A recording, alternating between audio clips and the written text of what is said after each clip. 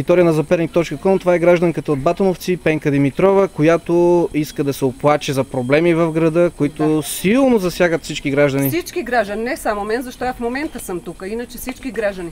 Стадиона ни е в окаяно състояние. От едната... Няма врати, няма прозорци. Иначе всичко е разградено. Нали? Може да се дойде да се види. Читалището ще рухне, ще падне. Здравна служба, която седем села и Батеновци, всичко е тук в тази здравна служба. Здравната служба няма нищо, ще падне, чакат я да падне. Не може ли тази здравна служба да се махне и някаква малка постройка от два етажа да се направи? За какво да се унищожи? За какво да сме без здравна служба? То просто не е. Но... Улиците, улиците да мина да видят какви са. Няма улица, която да е чита, на която аз живеем. Стефан Каража се казва.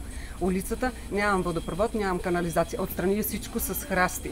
Обрасла е с храсти. То е нещо страшно вечер да минеш. Имам детенци, кое е на 14 години. Аз вечер ме страх да се прибере. Може ли това нещо? За какво има пари за Ватеновци? Искам да питам кметицата да й се зададе и да й се първо на първо на нея да се, да се провери. За какво има пари за Батеновци? За нищо. Само за кметска заплата. Кмета това. Иначе нищо няма. Какво и да питаш, казва няма пари. Е, за какво има пари? Госпожо Димитрова, вие писала ли сте му или някой ваш специално съгражданин? Специално за улицата. Специално. Има жалби много за цялия град, но не се обръщам. Специално за улицата много имам жалби, не само аз, цялата улица. Значи ако минете на тази улица, има шахта, която е на самата улица. И жената, която си чисти шахтата и свърля мърсотиите на улицата. Аз същото го правим добре, че срещу мен има празно место и в празното место. Ние сме още на шахти. Кое е време това?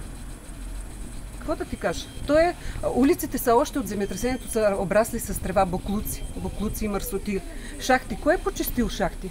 Никой. Улични лампи, и това искам да кажа, улични лампи имаме света до 12 часа. И след 12 часа време за кражба. Време за кражба. А била ли сте така, набези нападали ли са ви? А, мен специално не защо нали, повече сме в къщи и те не смята къде има по-самотни хора.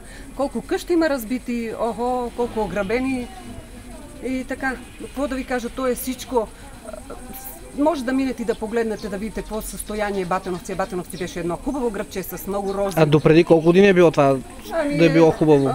Не мога така. Аз 37 години живея тук, значи като дойдох, Батеновци ми харесваше, затова сме се заселили. Сега съжалявам. Съжалявам, защо младите хора избегаха, защо няма работа без, пълна безработица, няма къде да работи. Младите хора избегаха, децата ни няма къде се развиват. Всичко бега там в Осарника, в София. Защо за София само се говори? София трябва да е хубава. София е България, столицата. Но защо се унищожават малките села и малките градове? Защо?